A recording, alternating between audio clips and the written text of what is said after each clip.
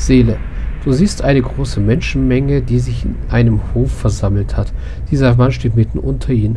Er hat sich einen Umhang über den Kopf gezogen und hält ihn am Hals geschlossen. Die Menge hat sich um eine Plattform versammelt, wo alle von ihnen gebannt zusehen, wie ein Mann von zwei Mitgliedern der Stadtwache auf die Plattform geführt wird. Der Mann, an den Händen und Füßen gefesselt, gibt sich wie ein Edelmann und würdigt die Menge keines Blickes. Der verhüllte Mann zieht sich den Umhang noch mehr ins Gesicht und wendet sich zum Gehen wobei er sich vorn überbeugt, um nicht erkannt zu werden. Ein Ausrufer auf der Plattform errollt ein Pergament und beginnt zum Lesen. Der Mann achtet nicht darauf, sondern sieht zu, dass er den Hof verlässt. Während des Vorlesens wird die Stimme des Ausrufers immer lauter und intensiver. Stimmen aus der Menge beginnen seine Sätze zu unterstreichen. Die Verhöhnungen und Zwischenrufe mehren sich, auf die der verhüllte Mann zuckend und mit hängenden Schultern reagiert. Als der Ausrufer zum Ende seiner Ausführungen kommt, löst er sich aus der Menge und erreicht den Rand des Hofes. Bis auf gelegentliche Rufe ist die Menge wieder leise geworden. Der Mann dreht sich wieder zur Plattform und sieht, wie sein Vater mit entblößtem Hals vor dem Block kniet. Der Scharfrichter bezieht Stellung und hebt sein Bein zum Schlag nach oben. Der Mann kann nicht mehr zusehen und wendet sich schnell ab. Dann hört man ein nasses, dumpfes Geräusch, gefolgt von Jubeln und Applaus der Menge. Er lehnt sich gegen die Mauer, sammelt sich wieder und richtet sich auf. Offensichtlich, mit offensichtlichem Schluss geht er von der Menge und seinem Vermächtnis weg. Okay, der hat wohl seinen Vater verloren, aus irgendwelchen Gründen auch immer. Äh, du? Du siehst ein paar makellos polierte Lederstiefel und einen tadellos gefeigten Spitzbart. Ihr Besitzer ist ein Mann mit leicht gekrümmter Nase, schelmischem Grinsen und schmalen Augen. Er hebt seinen gefiederten Hut, als er an einem Kaufmann vorbeiläuft, ein kleines Stück Pergament fest in seiner Faust gehalten. Die fahlen Finger von Tinte verfärbt. Scheinbar kennt er die meisten Kaufleute auf dem Marktplatz, denn er hält an, um sich einigen zu unterhalten. Mit einigen zu unterhalten während der anderen zunickt und sogar mit manchen kleine Güter austauscht. Dabei lächelt er stets und taucht, tauscht lachend Sticheleien aus. Er nährt sich mit einem unnachgiebigen Grinsen einer stämmigen Mauna und scherzt über das Wetter. Auch sie macht Witze, während sie ihm unbemerkt einige Goldmünzen zusteckt. Als er weiterläuft, ist das Papier aus seiner Hand verschwunden und das Lächeln auf seinem Gesicht weitaus natürlicher. Er tippt sich an den Hut, zwinkert ihr zu und zieht mit neuem Schwung weiter. Also ein Schurke, würde ich mal annehmen. So, was haben wir hier drin? Oh, was zu essen, was die äh, Erschöpfung verringert. Das nehmen wir doch mal mit. Und hier die Beeren. Oh, noch mehr Frühlingsbeeren. So, dieses Haus hier scheint verlassen zu sein. Gucken wir trotzdem mal rein. Oder wir wissen nicht, wem das Haus gehört. Das kann auch sein. Ah, wieder Leuten, die wir angucken können.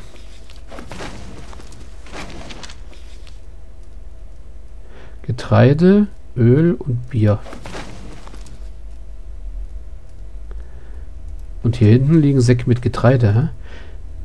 Hinter dem Sack wuseln Ratten umher. Okay.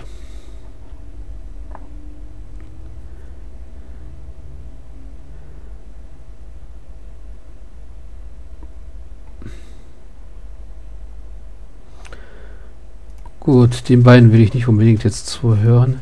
Ich will jetzt doch das gehen, wozu man mir äh, das machen gehen, wozu man mir geraten hat, nämlich einmal übernachten. Die Zeit läuft weiter auf der Karte, wahrscheinlich sogar etwas schneller. Hoffe ich mal. Alot Hagriff. Eder, da mit dem haben wir schon gesprochen. Und ansonsten waren wir bis auf der Windmühle überall.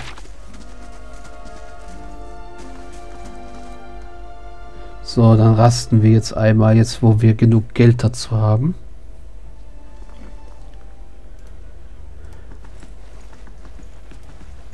Hail, Traveler.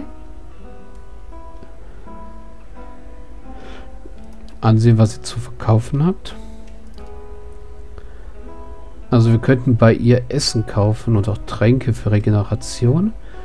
Brauchen wir es erstmal nicht. Abenteurer rekrutieren.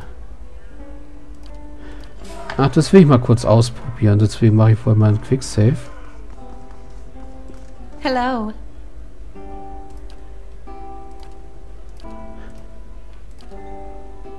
Abenteurer.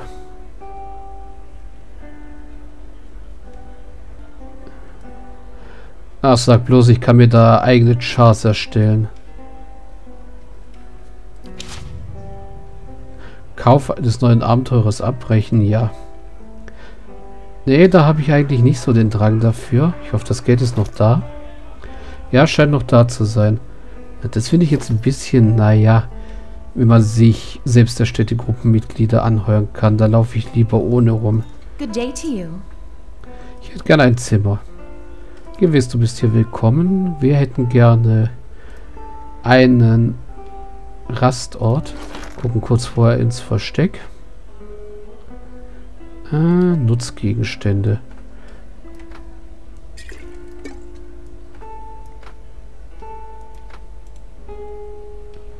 Reis, Ausdauer. Ach so, die Sachen sind einfach wirklich nur zum Essen. Und dann nehmen wir noch das Bier raus.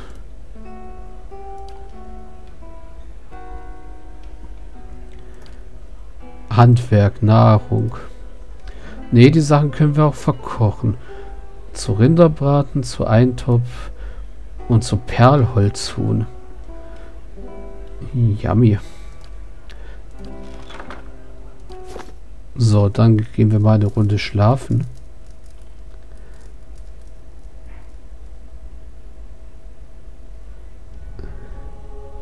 Du schläfst ruhelos und fieberhaft und im Schlaf wirst du vom Gezisch und Geflüster attackiert, über das sich ein erstickendes Angstgefühl wie eine Decke legt. Du öffnest deine Augen, um aufzuwachen und findest dich vor dem Galgenbaum in Goldtal wieder – das Knarzen der Seile wird in deinem Verstand immer lauter, bis das Geräusch ohrenbetäubend ist. Am Baum hängt eine alte Zwergin, deren Gesicht wie eine zerfallene Frucht nach, ihnen, nach innen gesunken ist. Ihr Kopf hängt schlaff zur Seite. Als du sie ansiehst, wird sie in deinem Verstand immer größer und größer, bis sie schließlich nur noch, ein, nur noch weniger Zentimeter von deinem Gesicht entfernt ist. Urplötzlich reißt sie ihren Kopf nach oben und ihre leeren Augen auf. Die dahinterliegende riesige Leere lässt ihr den Magen in die Knie sinken. Sie öffnet langsam den Mund und begleitet von einem widerlichen Luftstoß dringt ein einzelnes Wort an deine Ohren. Wächter. Du reißt dich aus dem Traum, aber der üble Geruch der Zwerge steht dir noch immer in der Nase. Der Schweiß läuft dir in dicken Tropfen von der Stirn und deine Haut ist von Kopf bis Fuß schweißnass.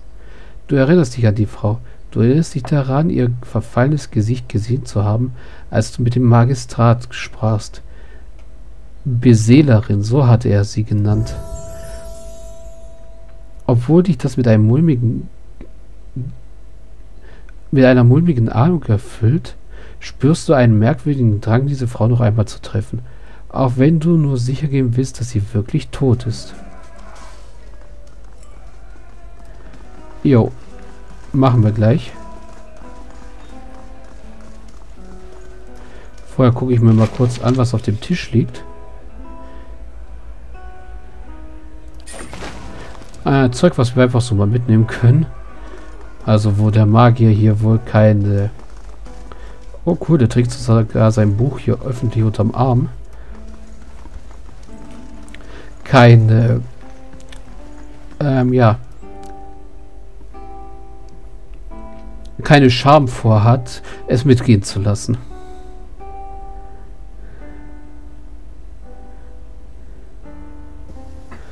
So, gucken wir mal kurz. Das kann er auch gleich mal in seinen Quickslot legen, den Trank. Und wir sollen uns jetzt In meinem Traum hörte ich die Stimme einer Frau, einer toten Frau, die an einem Baum im Zentrum von Goldtal hängt. Es mag zwar nichts anderes als ein Traum gewesen sein, aber er wirkte merkwürdig real. Ich versuchte dorthin zurückzukehren, um mich selbst davon zu überzeugen, ob etwas daran ist.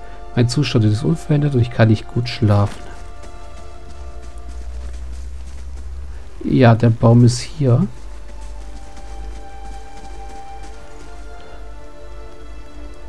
Und sie leuchtet. Die, der gedrungene, aufgeblähte Körper einer alten Zwergin baumelt von einem krummen Ast, der durch den Zug ihres der sich durch den Zug ihres Geigenstricks durchbiegt. Das aufgedunsene Fleisch ihres Halses, das stellenweise wie mottenzerfressenes Leinen aussieht, stülpt sich über das Seil, an dem sie hängt, und ihr lebloser nach vorne gebeugter Kopf rollt beim Wechsel der Brise steif von einer Seite zur anderen.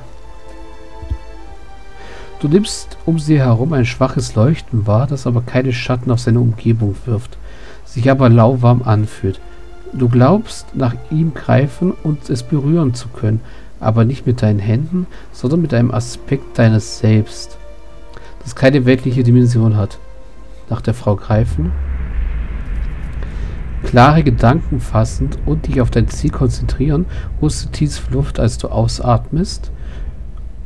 Holst du tief Luft. Als du ausatmest, merkst du, wie du dich nach der hängenden Frau ausstreckst. Du nimmst alles, was zwischen dir und ihr liegt, mit neuem ungewohnten Bewusstsein wahr.